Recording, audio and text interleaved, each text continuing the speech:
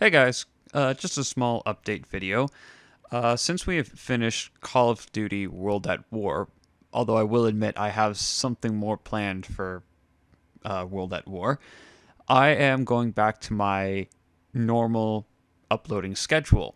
And if you don't know what that means, if you're new to the channel, that basically means I'm going to be uploading every other week like I usually did.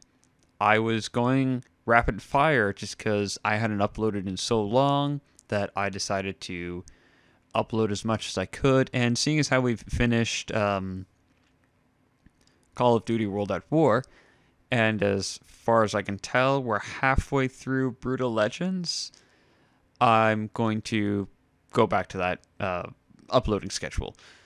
So there won't be any videos up this week, but there will be some videos up next week.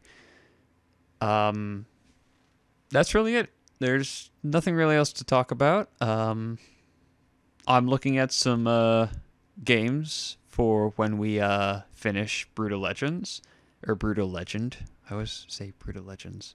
Not the point. Uh, what is the point is I have some games lined up, maybe some filler games, but we'll see what happens.